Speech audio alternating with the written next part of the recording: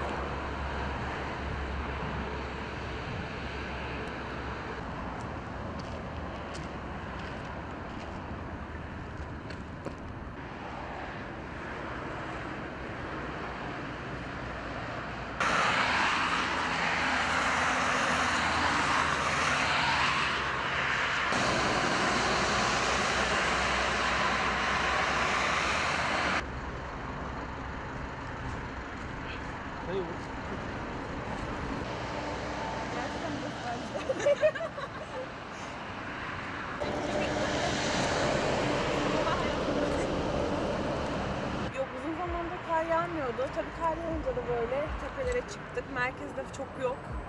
Fotoğraf çekilelim, güzel bir anı kalsın diye. O şekilde.